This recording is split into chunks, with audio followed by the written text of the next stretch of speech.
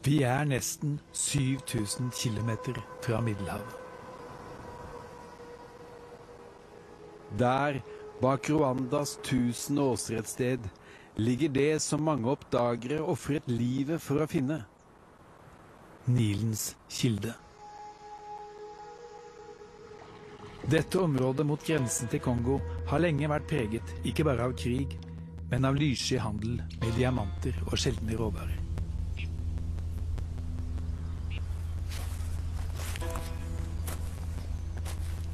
Derfor ble jeg fulgt av den lokale politisjefen og en avdeling fra den rwandiske hæren på vei gjennom jungelen for å finne stedet der livet begynner.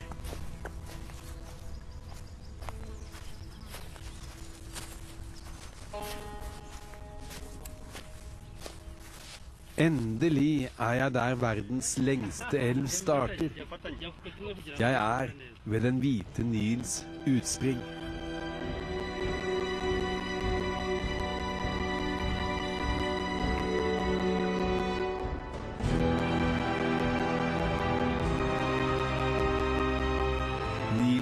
Vært kontrollert av faraoer, romerske keisere, tyrkiske sultaner, Napoleon og det britiske imperiet fra dronning Victoria til Winston Churchill.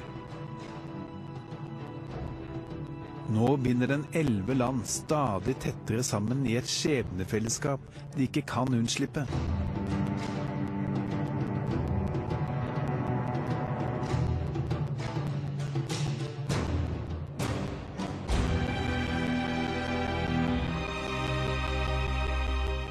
Jeg har holdt på med Nilen i hele mitt voksne liv. Dette er noe av det jeg har skrevet. Jeg er rett og slett blitt en bekreftelse på det eldgamle ordtaket. Den som har drukket av Nilen, vil alltid vende tilbake.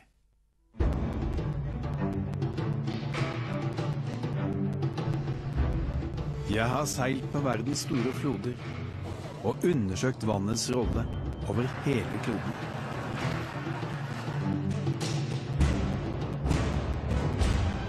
Men ingen elv er mer sagnomsust og omstridt enn Nilen. Bli med meg på en reise fra faraoisk tid til i dag og oppover elven. Fra Middelhavet til kildene i hjertet av Afrika. Jeg har møtt dem som er helt avhengig av Nilens vann. Our life is Nile. Og jeg har snakket med dem som har prøvd å bestemme hvordan elven skal renne. For akkurat nå er kampen om makten over Nilen mer dramatisk og uoversiktlig enn på noe annet tidspunkt i de 5000 årene Nilen har vært menneskets herre og tjener.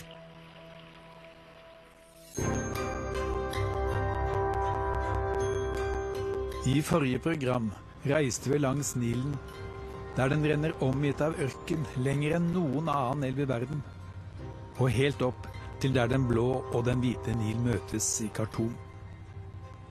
Vi så hvordan Egypt og Sudan er blitt stadig mer avhengig av Nilen, og hvordan de har kjempet for hva de mener er sin historiske rett til alt vannet i elven. I dette programmet skal vi reise opp Den hvite Nil gjennom verdens største sump og inn i regnskogen i Sentral-Afrika. Og se at landene langs denne elven nå gjør opprør mot Egypts tradisjonelle herredømme over Nilen.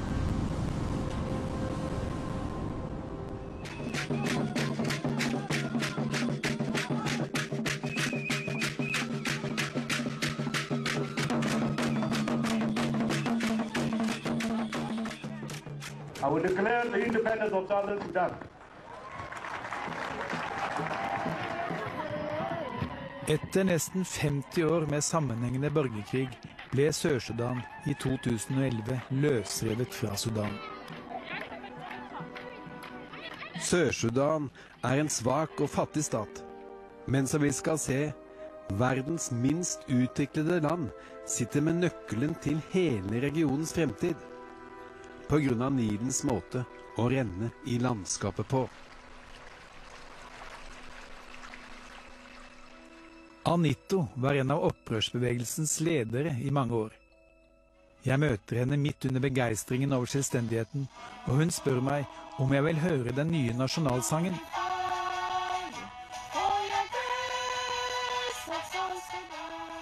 There is so much that the Nile gives us that we can't think about a life without the Nile.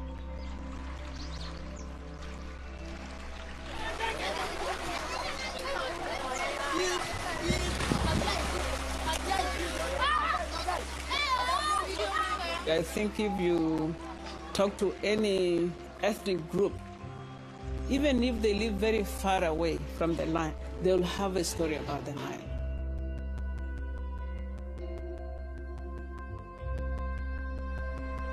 We have spiritual relationship with the Nile.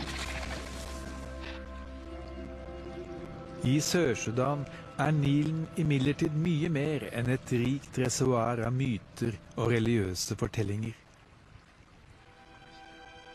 Når Nilen her bukter seg sakte over en enorm og helt flat slette, skaper den et svært uvanlig vannlandskap. Det har bestemt hvilke samfunn det har vært mulig å utvikle, og det har bestemt områdets plass i storpolitikken. Når elven i regntiden renner over sine bredder, danner den et våtmarksområde dobbelt så stort som hele Danmark. Og her bor det millioner av mennesker. I lange perioder har transporten på elven blitt blokkert av flytende planterester. For 2000 år siden stanset sumpen Romerrikets soldater på jakt etter Nilens kilder.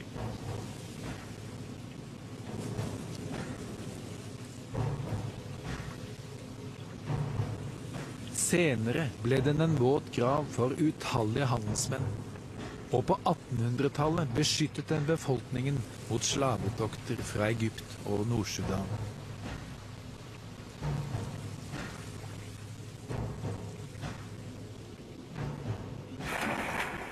Araberne kalte denne del av Den hvite Nil for Elshød, eller Barrieren.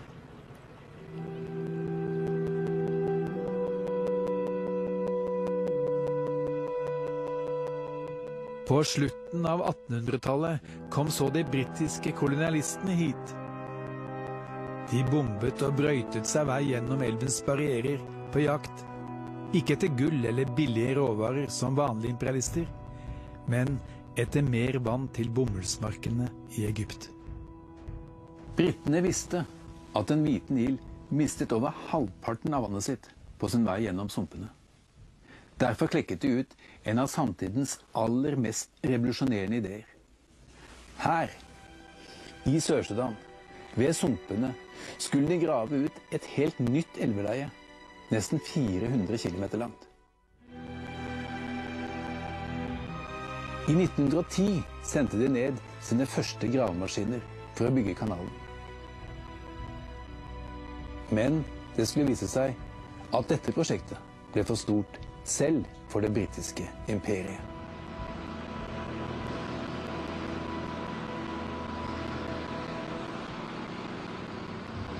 Men britenes store drøm om å øke vannføringen til Nilen i Egypt døde ikke med imperiet.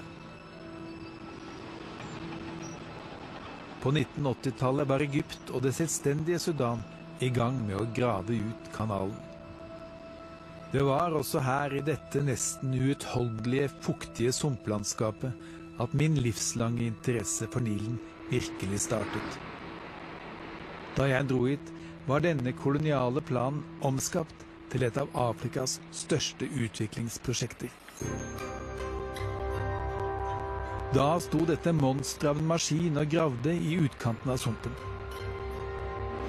På en dramatisk måte pekte den mot en ny tid. Mer vann skulle føres mot nord, og de tradisjonelle samfunnene i sumpområdet skulle moderniseres. Sjefen for prosjektet fortalte meg at de skulle grave ut en helt ny elv på størrelse med scenen, midt i Afrika. a project of 200,000 acres to produce food and to produce fiber for our people who are hungry now. De som bodde her, var derimot ikke like entusiastiske.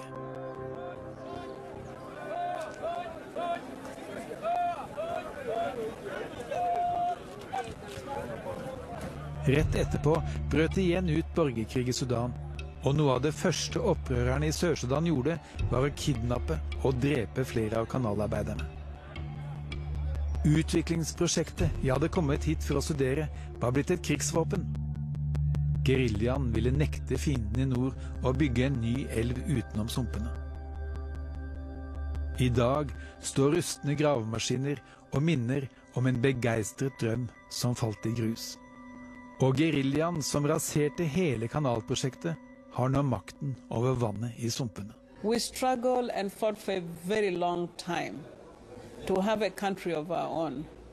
We will not make careless decisions. The Jongole Canal and any other canal, we will suspend it until we build the nation.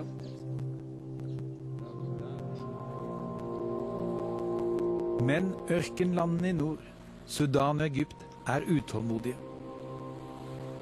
De vil ha vannet i Sør-Sudan med en gang. There is a lot of water wasted every year uh, in the south, come up to 42 billion cubic meters of water lost. The uh, construction of these canals will uh, reclaim some of this water. The Jonglei Canal is a must for the future of Egypt and a must also for the other countries of the Nile Basin to share in the, of the Nile water. Kampen om sumpens fremtid vil ha avgjørende betydning for Egypt, Sudan og Sør-Sudan.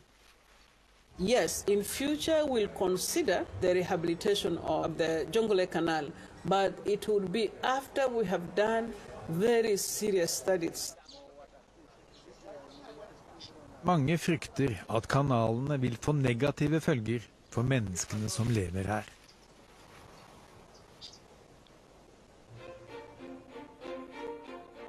For i sumpområdet har samfunnets puls i uminnelige tider fulgt vannets naturlige og rytmiske bevegelse i landskapet.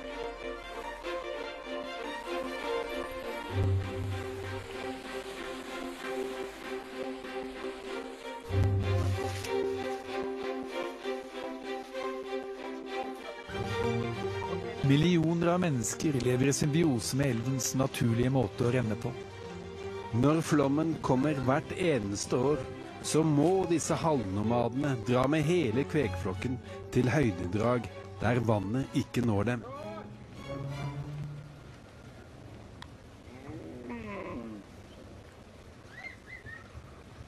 Når flomvannet hvert år trekker seg tilbake etter å ha vannet enorme områder, så må folk og kveg flytte etter.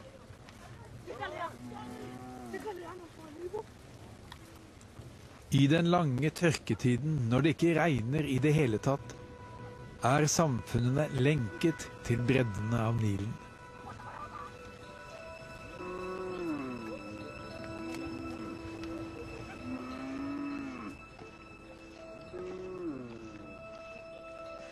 Nilens diktatoriske luner av makt har her forhindret utvikling.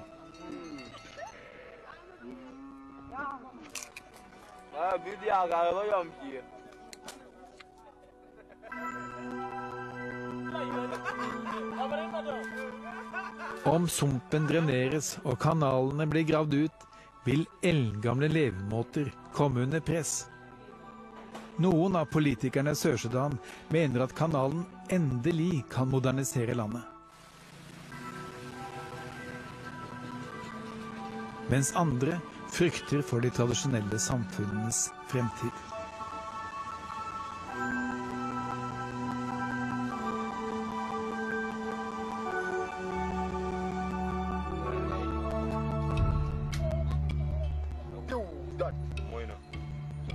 Spillet om sumpen splitter altså allerede en svak stat i Sør-Sudan. Samtidig som det i tiårene som kommer vil være sentrum for landets forhold til Egypt og Sudan.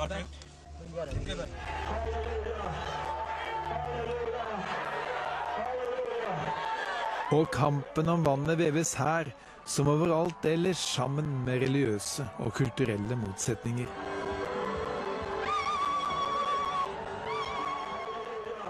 Sør-Sudan er en afrikansk stat der kristendommen står sterkt, og hvor skepsisen til de muslimske landene i nord er dyp.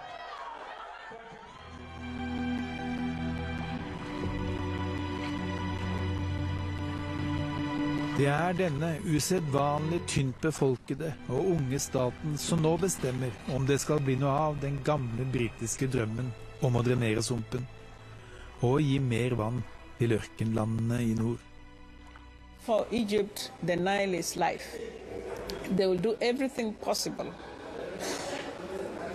to get a drop of water.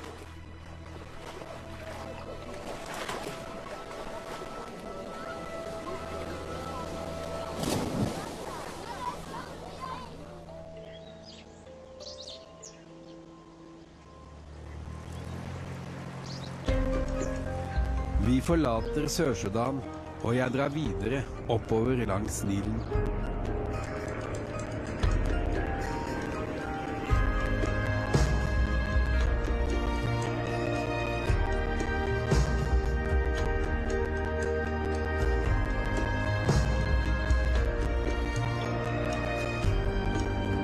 Vi skal se hva det betyr at flere land oppe i elven nå kaster seg over Den hvite Nil for å bruke den i sin modernisering.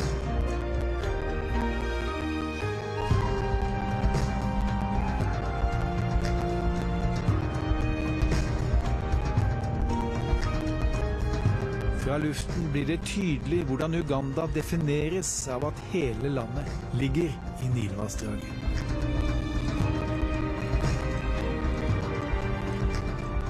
Men det vi ser, er jo også Egypts livsår.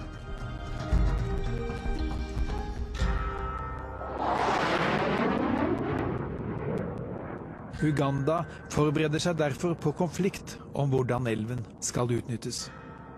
I 2010 kjøpte Uganda seks nye jagerfly. Ugandiske aviser skrev at de trenger flyene for bl.a. å forberede seg på en krig mot Egypt over Nilen.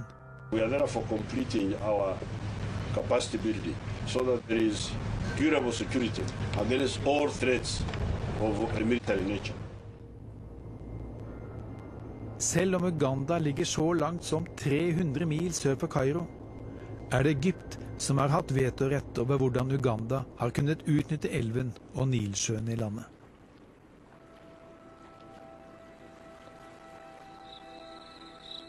For å forstå hvordan Nilen påvirker forholdet mellom de to landene i dag, må vi igjen dra tilbake i tid.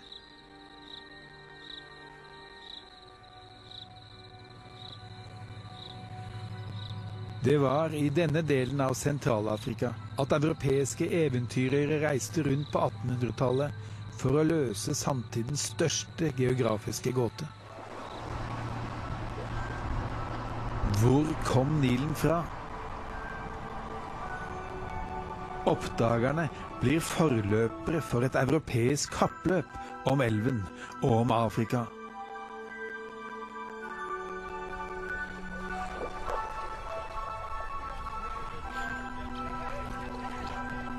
Deres bøker om ukjente folk og eksotiske dyr skaper sensasjon i Europas finere salonger. Dette strekket langs elven kalles para på lokalspråket, eller flodhestenes hjem.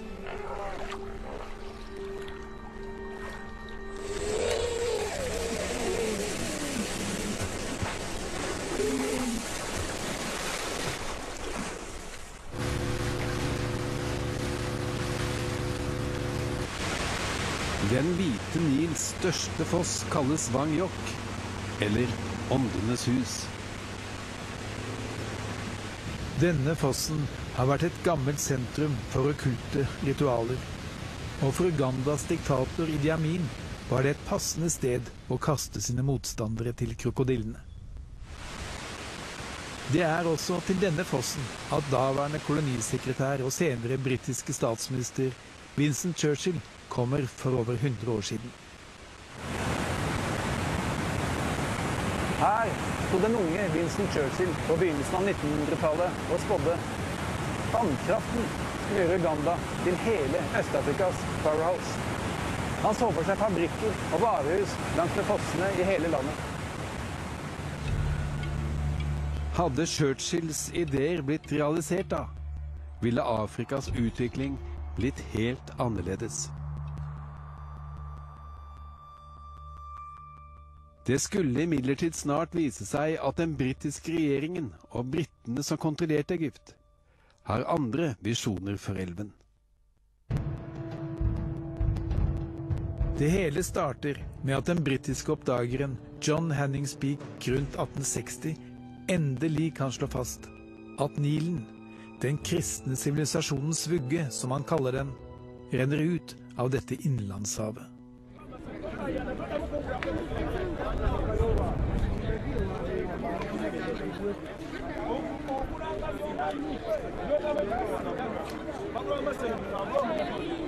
Denne nye kunnskapen om Nilens geografi og vannføring beseiler skjebnen til den som bor her.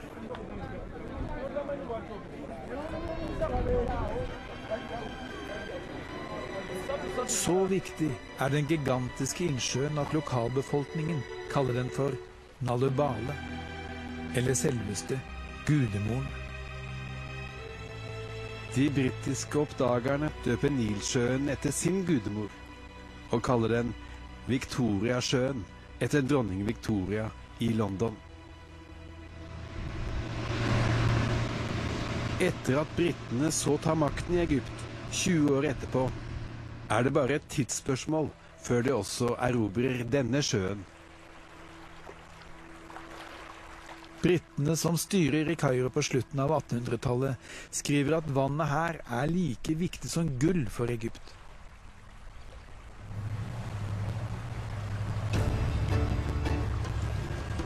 Jeg er på vei til et av kolonihistoriens aller viktigste steder.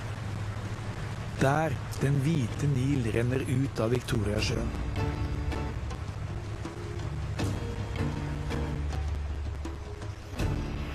For det var her London mente de kunne demme opp Nilen for å gi bomullsmarkene i Egypt alt vannet de trengte.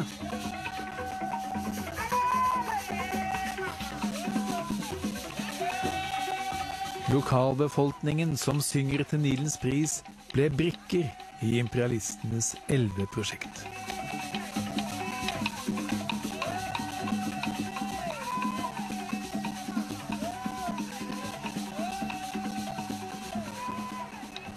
Men det skulle vise seg at det var mye vanskeligere enn britene først trodde, å sende mer vann herfra og hundrevis av mil ned til Middelhavet. De innså at det ekstra vannet bare ville forsvinne i de store sumpene i Sør-Sudan. Igjen et eksempel på hvordan Nidens geografi binder lands utvikling sammen på måter som politikken ikke kan oppheve.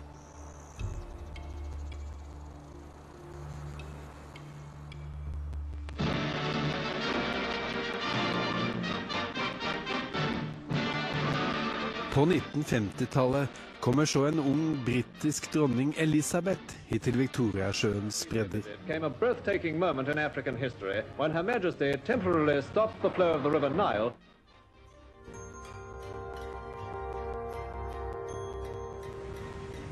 Dronningen åpner Ugandas første kraftverk over Nilen, kalt landets begynnelse.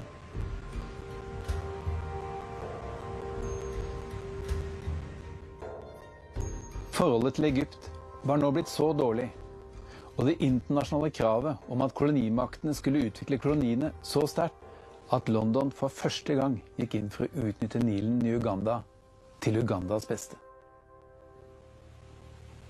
Egypt fordømmer dammen fordi den ligger i fiendeterritorium. Men Kairo godtar den til slutt mot at de får plassere fire ingeniører der som skal sikre at Uganda ikke tar mer vann enn avtalt. De sitter der fremdeles.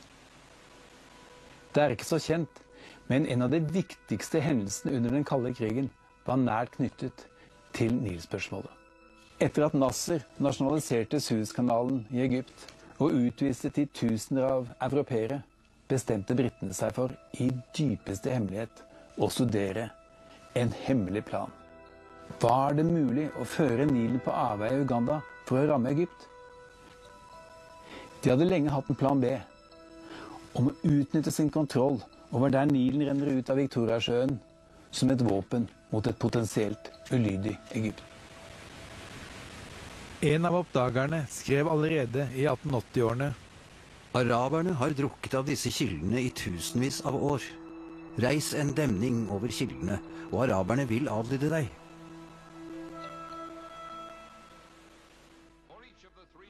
Da London finner ut at Nil-våpen ikke var så effektivt som de hadde trodd, går de heller til en vanlig krig mot Egypt.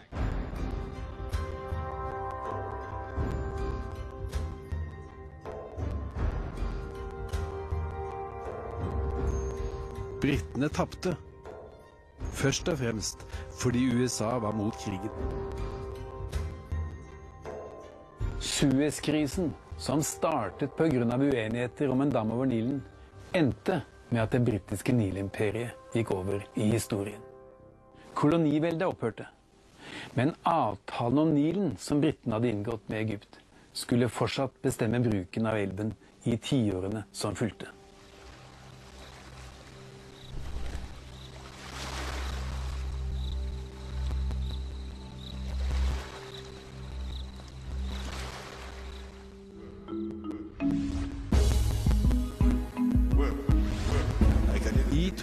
2011 er det valgkamp, og president Museveni, som den første lederen i det nye Uganda, går ut med et klart budskap. Nilen må bli motoren i landets utvikling.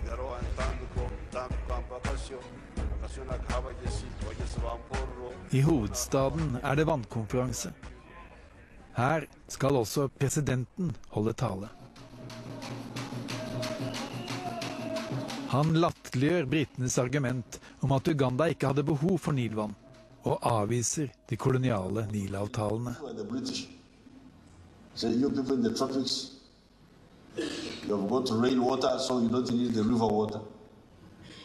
Of course, we have now rejected this. Selv om det regner mye i Uganda, rammes også deler av dette landet av stadige tørkekatastrofer. Presidenten har derfor foreslått å føre vann fra Nilen og ut til de tørre områdene i nordøst av landet, der Karamajong-folket bor. Egypt fikk stoppet prosjektet. Og de viser igjen til avtalen de hadde inngått med det britiske Nilimperiet i 1929. I hovedstaden Kampala er forretningsfolk rasende fordi de ikke har elektrisitet. spent over two days without power, seriously affecting their business operations. Regjeringens løsning også på dette problemet er Nilen. Only 5% of the population of Uganda gets power. And even then, it is erratic. We hope that our industrialization process will be fa- uh, fast-tracked or accelerated by the availability of, availability of hydropower. Nilen er Ugandas hvite gull.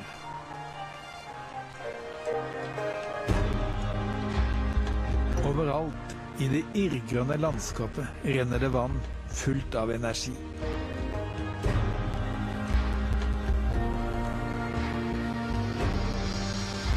Endelig, etter mer enn 100 år, blir Churchills visjon om å gjøre Nilen til landets arbeidshest virkelighet.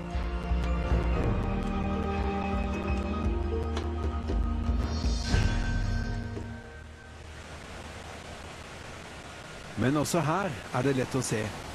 Modernisering har alltid sin pris.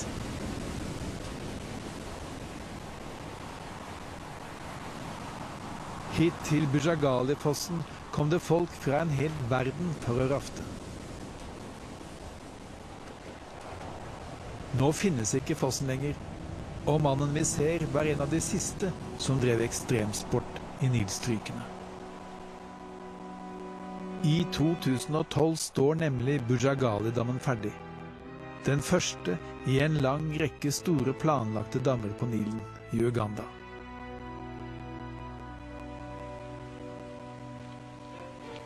Nilen får en mer og mer sentral plass i landets fremtidsplaner.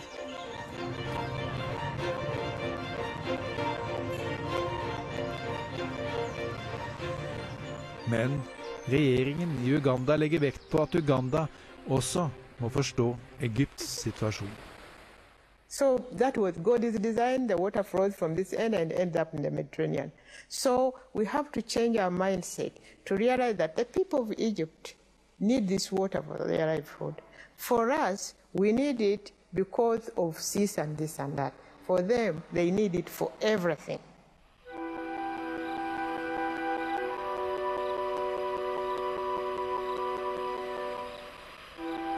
Victoriasjøen er kjent for sine spesielle døgnfluer. Disse svarte, buktende søylene er milliarder av fluer som flyr opp fra sjøen hver kveld. Først for å pare seg, så rett etterpå for å dø. De kan stå som kontrast til Nilsjøens evige strategiske betydning, og som for alltid vil binde Uganda og Egypt sammen i et skjebnefellesskap.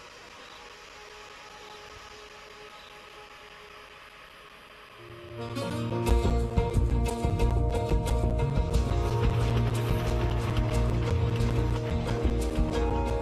av de virkelig klassiske togreisene i verden går fra Det indiske hav, over det kenyanske høylandet og ned til Viktoriasjøen. Jeg kjører på en toglinje anlagt pga. kampen om Nilen. Og vi skal se hvordan den var med på å skape det landet som i dag heter Kenya.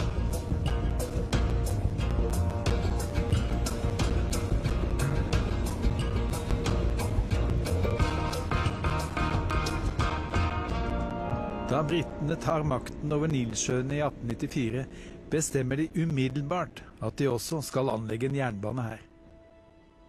De vil vise verden at de mener alvor da de erklærer at Nilen er deres interessesfære.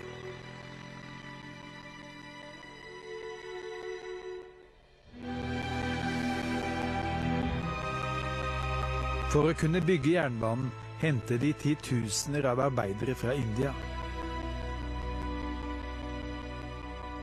Da jernbanen står ferdig, blir inderne værende.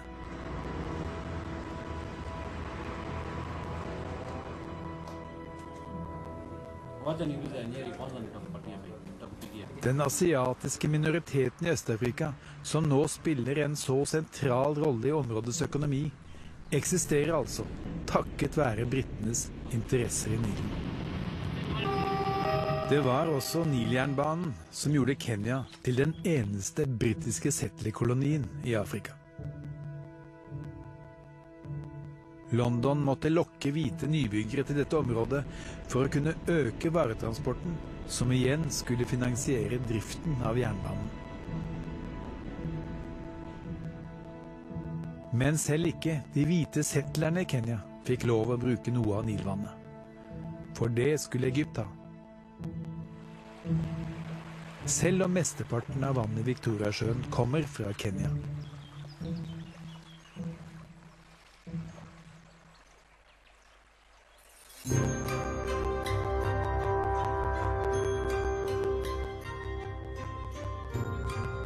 Hovedstaden Nairobi, opprinnelig grunnlagt som anleggsbrakke for jernbanen, er i dag Øst-Afrikas økonomiske sentrum. Her skal jeg møte en av landets mest kjente Nil-eksperter. Jeg skal spørre ham om hva Kenya mener om at de i henhold til Nilavtalen fra 1929 ikke har rett til å bruke noe av vannet som renner i de mange elvene ned mot Viktoriasjøen. When you are refining your, refining your irrigation before Jesus was born, we were not around. When you negotiated the 1929 agreement, we were not around. The colonialists were bent on appeasing you for whatever reason, so that you can give free access to the Suez Canal or whatever it is. 1959, these guys came to an agreement between themselves and they called it for total utilization of the waters of the Nile. total utilization, and they're talking between themselves. I mean, what are those? I 2010 avviste så den kenyanske regjeringen formelt de gamle avtalene om Nilen. Nothing stops us now from using the waters as we wish. It's now up to Egypt to come on board and agree with us that we are going to share these waters. Kenya has now joined her East African neighbors of Uganda, Ethiopia, Rwanda and Tanzania in ratifying the reviewed treaty which seeks to give them authority to use more of Lake Victoria waters. Egypt has in the past warned that any action to divert Nile water resources will be treated as an act of war. Kenya, landet som er verdenskjent for sitt dyreliv, vil nå selv bruke Nilvann.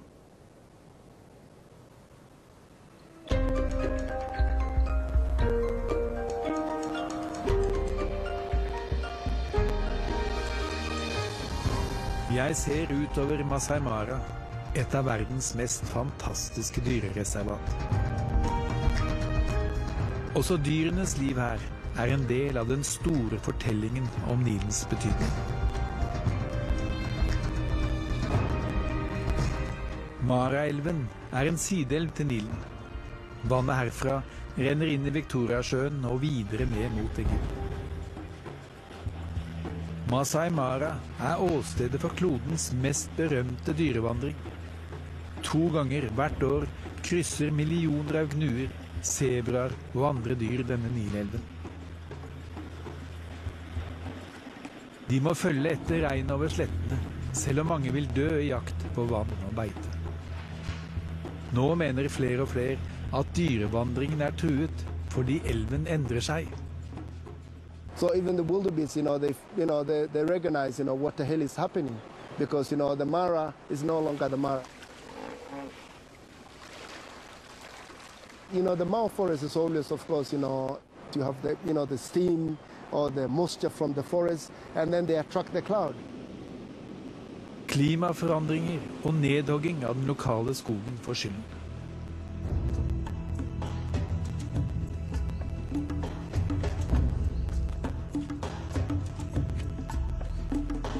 Kenya satser derfor på å plante trær.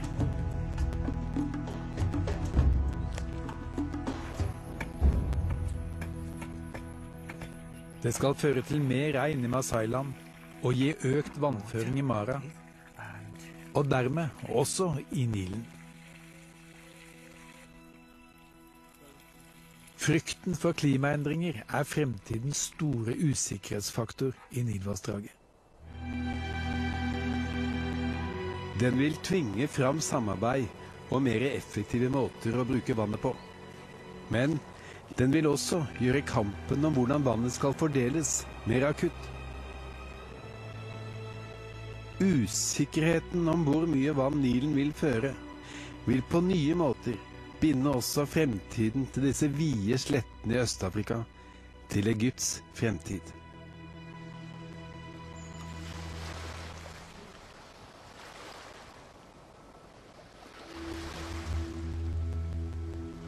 I 1994 erklærer Uganda og Kenya deler av Victoriasjøen som katastrofeområde.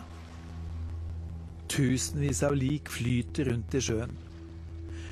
Hutu-ekstremistene i Rwanda hadde myrdet tutsier, kastet dem i elvene som snodde seg gjennom landet, og forkynte at Nilelvene skulle frakte fiendene ut av landet for godt. Da myrderiene ble stoppet, var det et vendepunkt i Rwandas historie. Og landet kunne nå for alvor melde seg på i det store spillet om Nilo.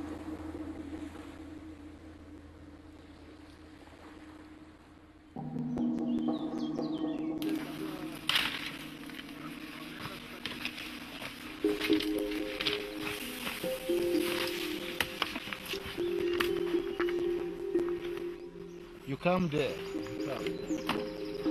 Fuktige skyer innhyller alltid Rwandas regnskog.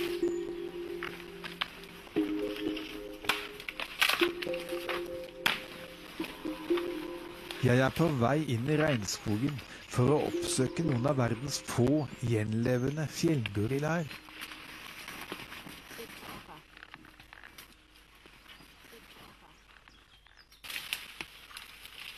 Disse gorillaene, som bor helt i ytterkanten av Nilvassdraget, er til forskjell fra menneske og andre dyr verken avhengig av elver eller vannpytter.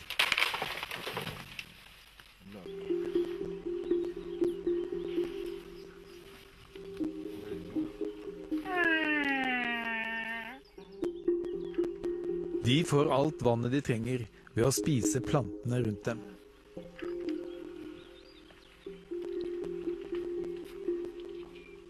Disse sjeldne og kraftfulle dyrene er nå blitt utropt som symbol på Rwandas forvandling. Landet har tatt mål av seg til å bli Afrikas Sveits, eller den afrikanske gorilla.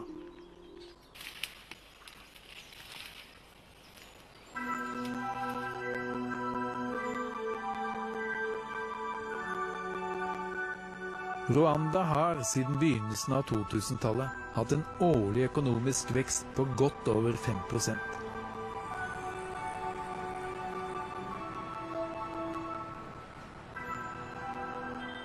Landet har gjennomført øvre fartsgrense på 60 km på alle veier for å redusere trafikkskadene. Ikke noe parlament har høyere kvinneandel. Hovedstaden Kigali er blitt kåret som en av verdens reneste byer.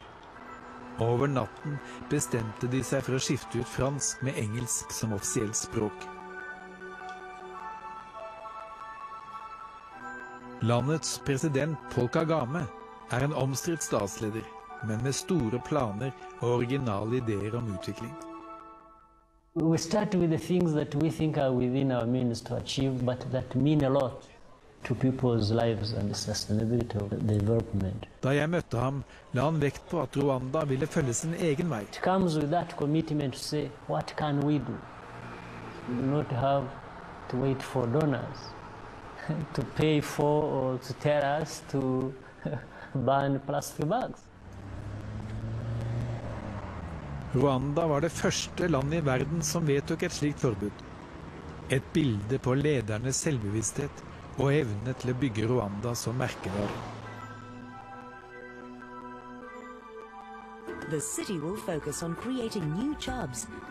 Kigali, hovedstaden, skal bli et forretningssentrum, og dette er visjonene. To live and work in the same vicinity. To enjoy a new life.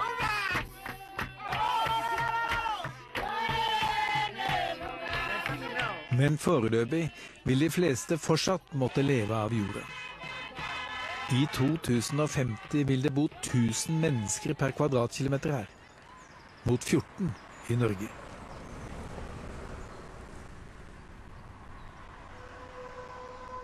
Nilelvene som renner gjennom landet mot Viktoriasjøen, har historisk vært sentrale kulturelle og religiøse metaforer og mytiske grenser. Men de skal nå også brukes til vanning og kraft.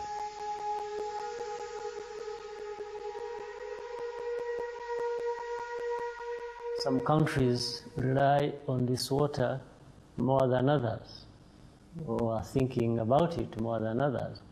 But that does not give them any more right on the use of this water than others. The colonial agreements cannot be accepted as, as valid anymore.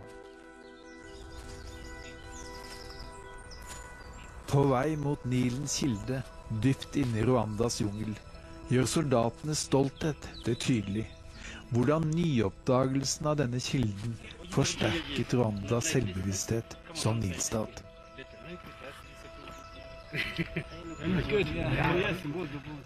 Kilden er ikke særlig oppsiktsvekkende. Men det er nettopp det som gjør den så talende. Den understreker hvordan Nilen er skapt av tusenvis på tusenvis av slike små bekker. Denne lenker Rwanda sammen med snart en halv milliard mennesker i ti andre land i en uoversiktlig kamp om hvordan vannet i elven skal utnyttes. Her er altså den beskjedne begynnelsen på en av de mange årene som skaper ebben, som har ført til egyptiske dynastiers vekst og fall, som har stimulert kolonisering og erobringskriger, som holder millioner på millioner av mennesker i live hver dag, og som nå også er en del av Rwandas planer for fremtiden.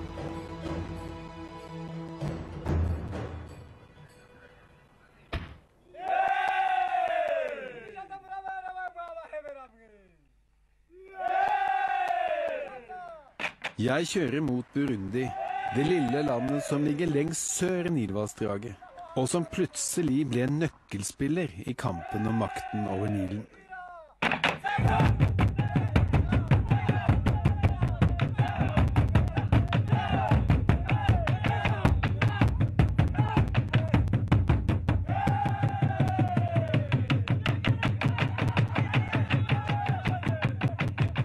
President Nicoresisa brakte stabilitet til landet etter at han seiret i en blodig borgerkrig. Presidenten er sterkt kristen og har også sitt eget fotballag kalt Halleluja Football Club. Presidentens lag møter i dag et lag fra Rwanda til en vennskapskamp. Rwandas president Kagame nøyer seg å se på, men Burundis president spiller.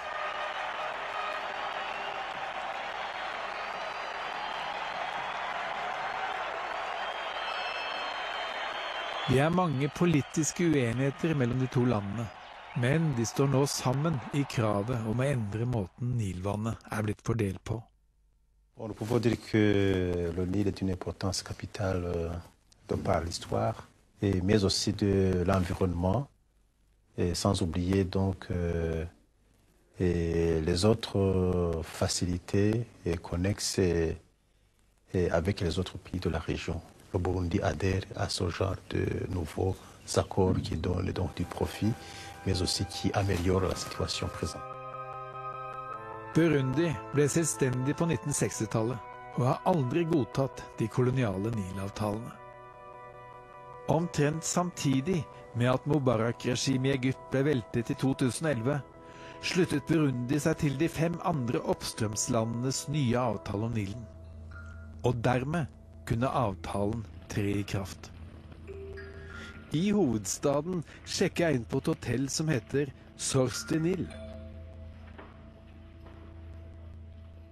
Men hvordan kan også dette landet skryte av å ha Nilens kilde? Og hva betyr det for den store kampen om makten over Nilen?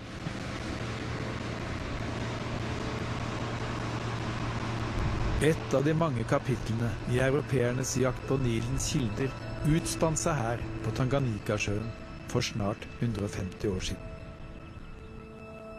Overfor sjøen, ikke langt fra hovedstaden, står en stor, ensom stein som vitner om Europas Nilbesettelse. På den er det skåret inn Livingston og Stanley. Journalisten Henry Morton Stanley krysset Afrika til fots, fant misjonæren David Livingston som hadde vært forsvunnet i årevis, strakk frem hånden og uttalte en av verdenshistoriens mest berømte replikker. Dr. Livingston, I presume.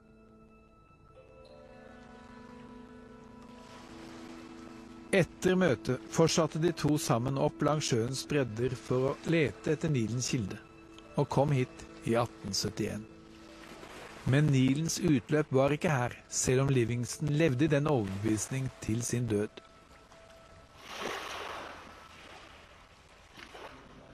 Det skulle imidlertid vise seg at Livingston hadde mer rett enn samtiden var klar over. På universitetet i Bujumbura holder jeg forelesning om Nilens historie, og der møter jeg landets vannminister.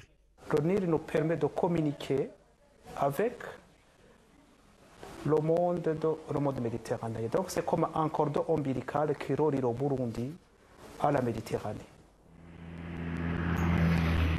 Vi drar ut av hovedstaden, og ikke mange mil fra der hvor Livingston og Stanley står skrevet i stein, møter vi en mann som kan vise oss Nilens sørligste kilde.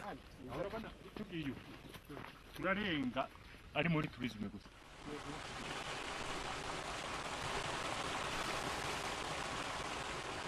På åskammen over kilden og med utsikt mot Kongo ble det på 1930-tallet reist en minikopi av pyramiden i Egypt.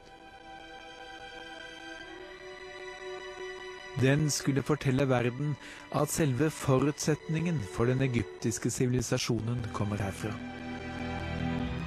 Nå er den et monument over en tenkemåte som tilhører fortiden. Det lille Nilandet Burundi var med på å velte det gamle Nil-regimet. Og pyramidene er nå først og fremst en påminnelse om den flere tusen år lange epoken da Nilen var og ble oppfattet som kun Egypts elv.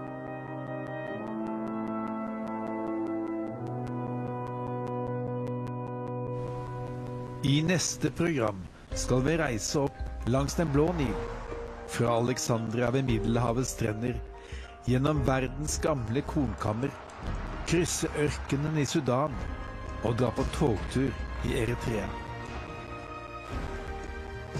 Til slutt flyr vi opp Blå Nildalen Etiopia.